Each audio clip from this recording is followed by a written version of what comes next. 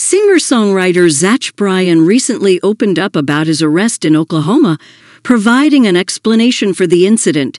In a candid statement, Bryan admitted that his behavior during the encounter with law enforcement was regrettable, describing himself as an idiot and acknowledging that he should have been smarter in his actions.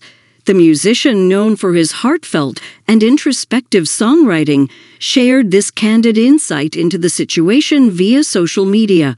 Bryan's willingness to take responsibility for his actions and openly discuss the incident with his fans demonstrates a level of transparency and humility that many appreciated.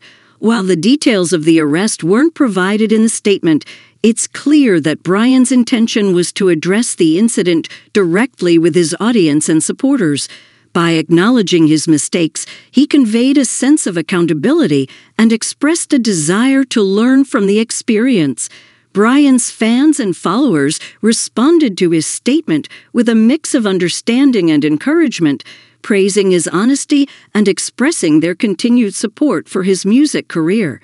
It's not uncommon for public figures to face personal challenges and missteps, and how they handle these situations can have a lasting impact on their relationships with their audience. This incident serves as a reminder of the complexities of fame and the pressures that can come with it. While Bryan's music has resonated deeply with many, he, like anyone else, is susceptible to making mistakes. His willingness to acknowledge those mistakes and use them as opportunities for growth is a testament to his character. In summary, Zach Bryan's candid statement about his arrest in Oklahoma reflects his willingness to take responsibility for his actions and learn from his mistakes. This level of transparency and humility has been appreciated by his fans and underscores the importance of accountability even in the world of music and entertainment.